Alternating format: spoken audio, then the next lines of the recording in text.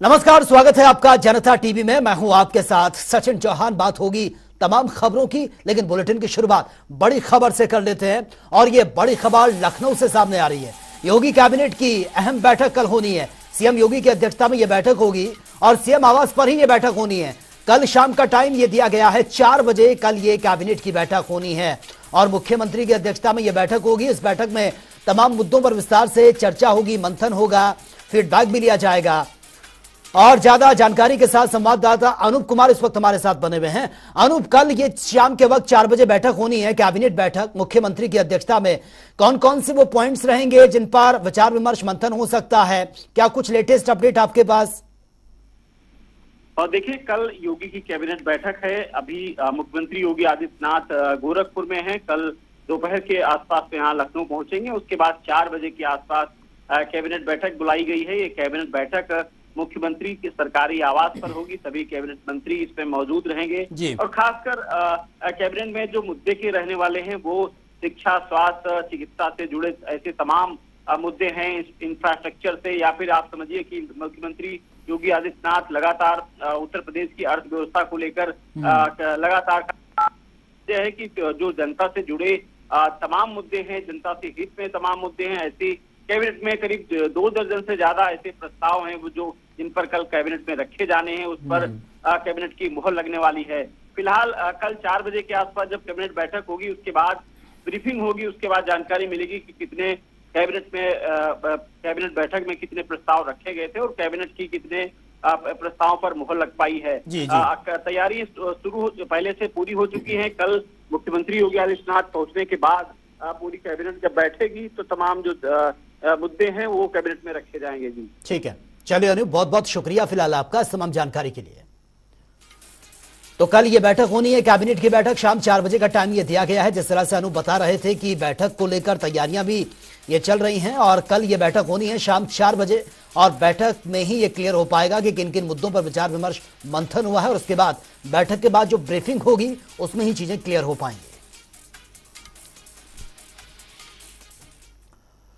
और वहीं अलीगढ़ में पूर्व सीएम कल्याण सिंह की पुण्यतिथि पर हिंदू गौरव दिवस कार्यक्रम का आयोजन किया गया है। इस मौके पर गृह मंत्री अमित शाह, मुख्यमंत्री योगी आदित्यनाथ सहित तमाम नेता मौजूद थे और अपने संबोधन में गृह मंत्री अमित शाह ने कांग्रेस पर जमकर निशाना साधा है। पीएम मोदी की जमकर तारीफ़ की है। इसके साथ ही सीएम योगी ने भी बाबूजी को श्रद्धांजलि देते हुए नमन किया।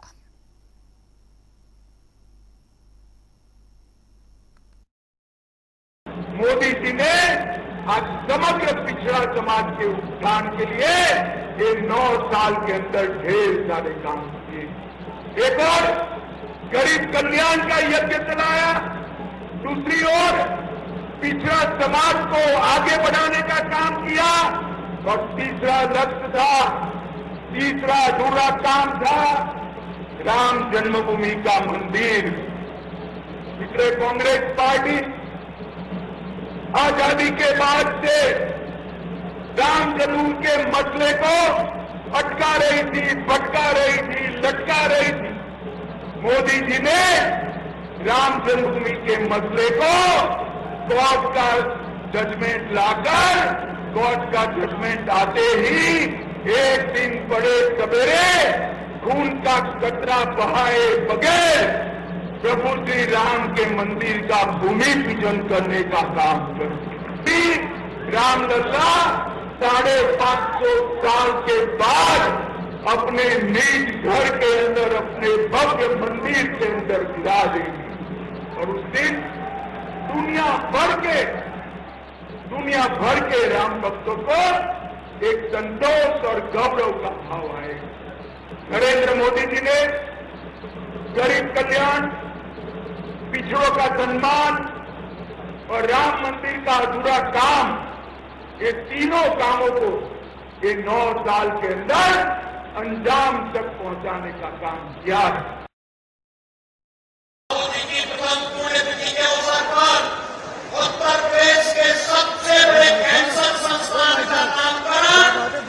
मार्गदर्शन से बुलंद सर में कार्य हुआ है।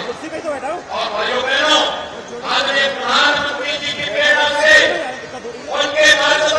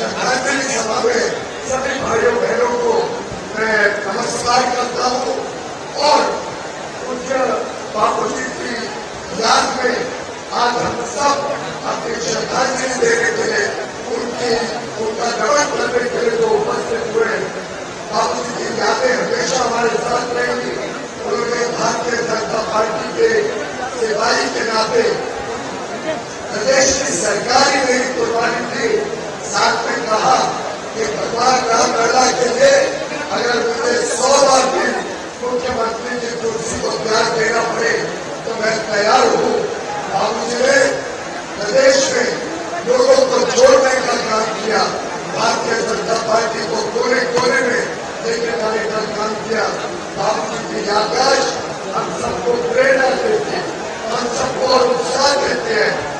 बाबू जी के मार्गदर्शन में, माननीय अमित शाह जी ने, माननीय नरेंद्र मोदी जी को जो प्रधानमंत्री बनाने के लिए उत्तर प्रदेश को जोड़ा था, उत्तर प्रदेश का पूरा आशीर्वाद मिला था, मेरा विश्वास है, आने वाले 2024 में उत्तर प्रदेश की अस्सी की अस्सी सीटें हम प्रधानमंत्री मोदी जी की झोली में डालकर उनको पुनः एक बार पूर्ण बहुमत के साथ देश का प्रधानमंत्री बनाएँगे।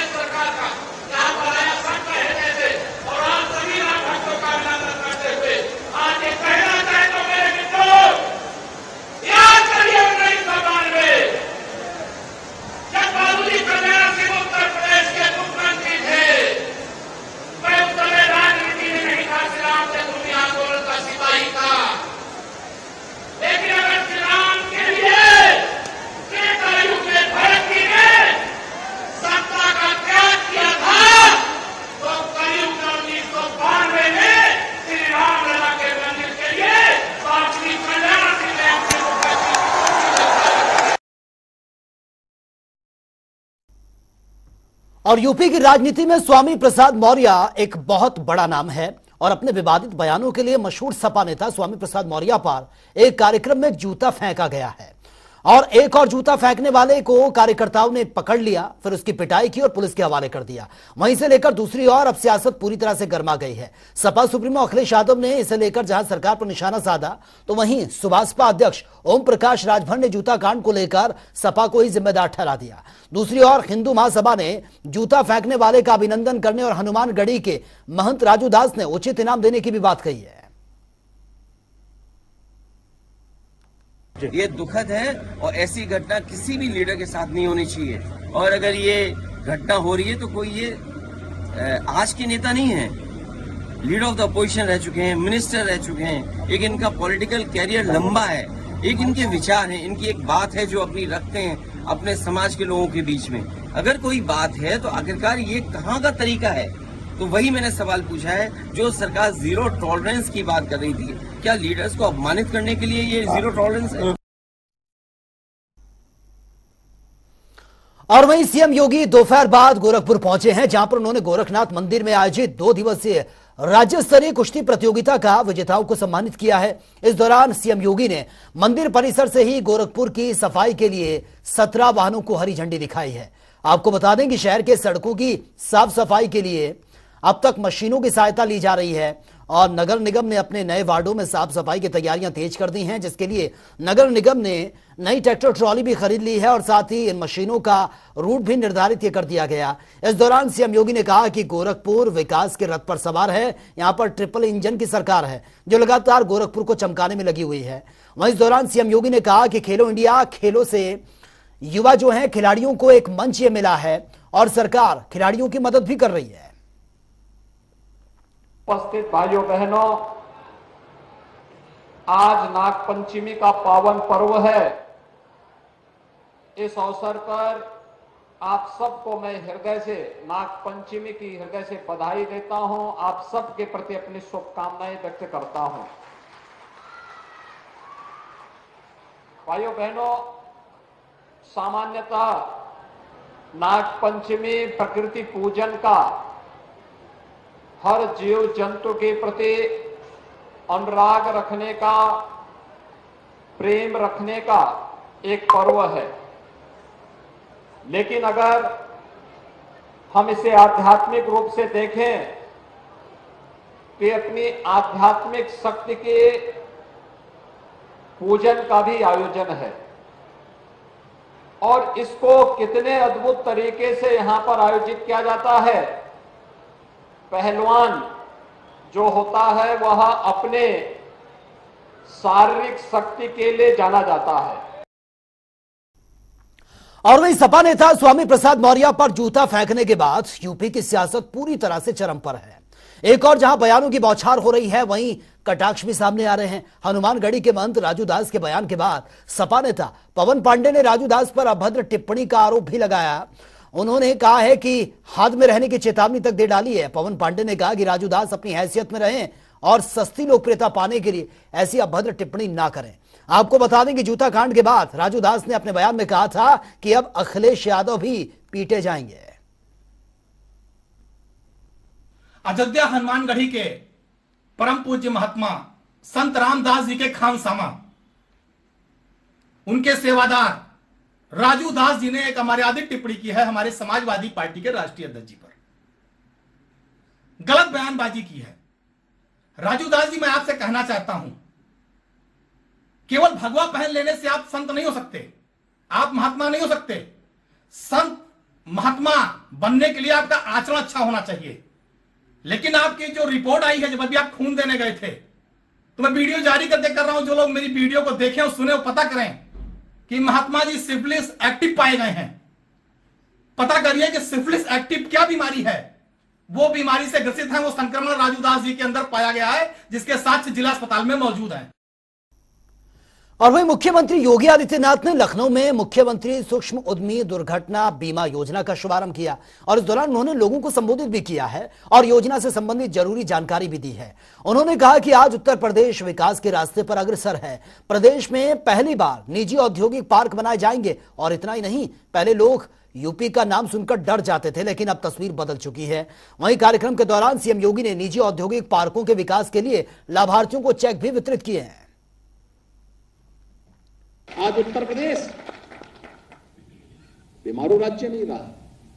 आज उत्तर प्रदेश के नौजवानों के सामने, उत्तर प्रदेश के उद्यमियों के सामने, उत्तर प्रदेश के बहनों के सामने, उत्तर प्रदेश के नागरिकों के सामने पहचान का संकट नहीं है। आज कोई हमारी पहचान पर प्रश्न नहीं खड़ा कर सकता। और इसीलिए अलग अलग अलग अलग सेक्टर में हम लोगों ने इसके लिए व्यवस्थित रूप से उत्तर प्रदेश सरकार ने जब काम करना प्रारंभ किया, आज उसके परिणाम हम सबके सामने हैं। ये पहली बार हो रहा है, जब एमएसएमई विभाग के द्वारा निजी औद्योगिक पार्कों को विकसित करने का कार्य हो रहा है।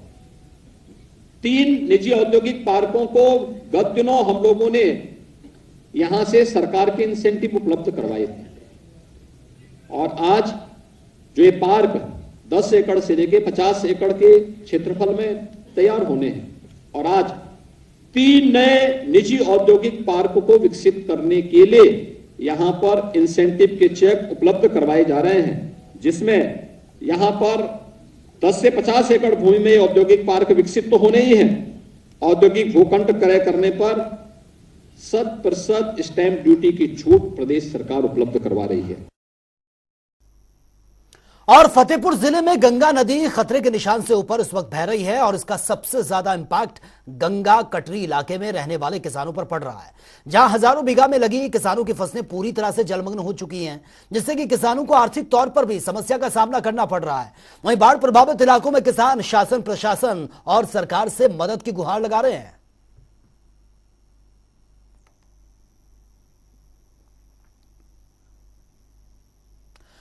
आज नाग पंचमी है और अधिक मास सावन के सातवें सोमवार के संयोग पर प्रदेश भर के मंदिरों में श्रद्धालुओं की भीड़ देखने को मिल रही है। टीवी स्क्रीन पर आप देख रहे हैं अलग अलग तस्वीरें। भक्तों के श्रद्धा भाव साफ़ तौर पर यह देखा जा रहा है। अयोध्या के प्राचीन शेषावतार श्री लक्ष्मण मंदिर में भक्तों का तांता लगा हुआ है और ऐसा ही कुछ दृश्य वाराणसी का है, जहाँ पर श्रद्धालु शिवलिंग को दूध और पुष्प अर्पित करते हुए नज़र आ रहे हैं। वहीं प्रयागराज की तस्वीरें आप देखिए वासुकी मंदिर की है, जहाँ पर भक्तों की लंबी लंबी कतारें साफ़ तौर पर नज़र आ रही हैं।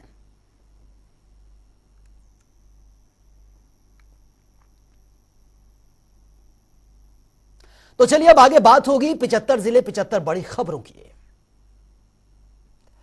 लखीमपुर खीरी में टीचर की हैवानियत आई सामने नाबालिग छात्रा के साथ बदसलूकी आक्रोशित ग्रामीणों ने जमकर काटा हंगामा। लखीमपुर खीरी में पुलिस ने की है ताबड़तोड़ कार्रवाई। शराब माफियाओं के मंसूबे को किया फेल। अवैध कच्ची शराब बनाने का उपकरण भी बरामद। आगरा में बिल्डर के बेटे ने दिखाई दबंग गई। युवक की जमकर धुनाई की। घटना सीसीटीवी में क्या लखीमपुर खीरी में पुलिस की बड़ी सफलता। दुष्कर्म और हत्या में वांछित तीन अभियुक्तों को किया गिरफ़्तार। नाबालिग नौकरानी के साथ की थी हैवानियत उन्नाव में कलयुगी पति ने पत्नी की गला रेत कर की हत्या। परिजनों में मचा कोहराम। पुलिस ने आरोपी को किया गिरफ़्तार। मुरादाबाद में रामगंगा नदी में नहाने के दौरान चार नाबालिग डूबे। एक को बचाया गया, तीन हुए लापता। रेस्क्यू अभी भी जारी। उन्नाव में चोरों का आतंक। ट्रेनी आईएएस के सरकारी आवास में की चोरी, घर के सारे सामान पर हाथ किया साफ़। फरुखाबाद में दबंगों का कहर। पानी ना देने पर किशोरी की जमकर पिटाई, पुलिस ने घायल किशोरी को अस्पताल में भर्ती करवाया। बस्ती में तेज रफ्तार का कहर अज्ञात वाहन ने बाइक को मारी ज़बरदस्त टक्कर, चालक सहित तीन लोगों की मौत, मामला दर्ज कर जाँच में जुटी पुलिस। फर्रुखाबाद में छत पर सो रहे व्यक्ति को सांप ने काट डाला, आनंद फानंद में घायल को अस्पताल में भर्ती किया गया। रायबरेली में गंगा नदी में युवक ने लगाई मौत की छलांग मचा हड़कम पुलिस और गोताखोरों ने जान बचा ली। मोबा में लापता हुई युवती का शव पेड़ पर लटकता मिला। इलाके में मची सनसनी, पुलिस ने शव को पोस्टमार्टम के लिए भेजा। लखनऊ में बिना लाइसेंस के चल रही मेडिकल स्टोर पर बड़ी कार्रवाई, पुलिस ने मेडिकल स्टोर को सील कर दिया। बाराबंकी में कुत्तों के हमले से राष्ट्रीय पक्षी मोर की मौत। पुलिस और वन विभाग की टीम ने मोर का अंतिम संस्कार किया। फतेहपुर में गंगा नदी में बढ़ा है जलस्तर। किसानों की हज़ारों बीघा फ़सलें हुई है। जलमग्न प्रशासन से मुआवजे की मांग। मैनपुरी में कारागार में अब बंदियों को मिलेगी एफएम रेडियो की सुविधा। बंदियों को दिया जाएगा क्या हमीरपुर में रिश्ते हुए हैं। रिश्तों का कत्ल हुआ छोटे भाई ने बड़े भाई की गोली मारकर हत्या कर दी। पुलिस ने आरोपी को गिरफ़्तार कर लिया। बांदा में दबंगों के हौसले बुलंद है। मामूली विवाद पर चाकू मारकर की गई युवक की हत्या। इलाज के दौरान मौत परिजनों में मचा कोहरा। बांदा में दबंगों को ना कहना महँगा पड़ गया। युवक पर किया चाकू से हमला। घायल को अस्पताल में भर्ती किया गया। पुलिस मामले की जाँच पड़ताल में जुटी। हमीरपुर में दबंगों ने कोचिंग जा रहे छात्र को जमकर पीटा। वीडियो सोशल मीडिया पर वायरल। पुलिस ने नहीं की अब तक कोई कार्रवाई। हमीरपुर में रेप की शिकायत करने वाली महिला से फ़ोन पर दरोगा ने किया भद्रता। Audio clip viral. पीड़िता ने दरोगा पर बदसलूकी करने का आरोप भी लगा दिया। सहारनपुर में संपूर्ण समाधान दिवस बना मज़ाक। सरकार के निर्देश का नहीं हो रहा है पालन, फरियादियों को लौटना पड़ा निराश। कन्नौज में अस्पताल में शुरू हुआ डिजिटल रजिस्ट्रेशन आवा ऐप के ज़रिए अब मरीज़ करा सकते हैं ऑनलाइन रजिस्ट्रेशन। मुरादाबाद में संदिग्ध परिस्थितियों में अज्ञात का शव मिलने से इलाके में सनसनी शव की शिनाख्त में जुटी पुलिस। मऊ में सियाई प्रकरण से नाराज़। बीजेपी कार्यकर्ताओं ने सपा प्रत्याशी सुधाकर सिंह का फूका पुतला। लखनऊ में हॉस्टल में हुआ सिलेंडर ब्लास्ट। मची अफरा तफरी। छात्राओं ने सीढ़ी से कूदकर बचाई जान। बदायूं में संदिग्ध परिस्थितियों में फंदे पर लटकता मिला विवाहिता का शव। परिजनों में मचा कोहराम। पुलिस जाँच में जुटी। बलिया में स्कूली बस ने बाइक सवार को रौन डाला। चालक की मौके पर ही मौत, पुलिस ने शव को पोस्टमार्टम के लिए भेजा। आगरा में पत्नी के लिए पति बना हैवान। रोज रोज मारपीट से परेशान, पीड़िता ने लगाई वीडियो वायरल कर न्याय की गुहार। मैनपुरी में सिपाही ने पीड़ित महिला संघ की अभद्रता वीडियो सोशल मीडिया पर वायरल। ज़मीन विवाद की शिकायत करने पहुँची थी पीड़िता। एसपी से लगाई न्याय की गुहार। बदायूं में कार में लगी अचानक से आग। मचा हड़कम कार सवार दो लोगों ने बमुश्किल कूद कर बचाई अपनी जान। आगरा में टिकट चेकिंग स्टाफ के साथ मारपीट और विरोध प्रदर्शन। रेलवे एम्प्लॉय संघ ने जता विरोध भदोई में पुलिस और स्वाट टीम को मिली बड़ी सफलता। दो शराब तस्करों को किया गिरफ़्तार। करोड़ों की कीमत की शराब बरामद। फतेहपुर में चोरों के हौसले बुलंद। घर में घुसकर ज्वेलरी सहित लाखों रुपए पे हाथ साफ़ किया, जाँच में जुटी है प्रतापगढ़ में पुलिस ने ठगी करने वाले बाबा समेत तीन आरोपियों को किया गिरफ़्तार। पैसा दोगुना करने के नाम पर करते थे ठगी। तो फ़िलहाल इस बुलेटिन में मेरे साथ इतना ही, लेकिन तमाम खबरों के लिए आप बने रहिए जनता टीवी के साथ। नमस्कार।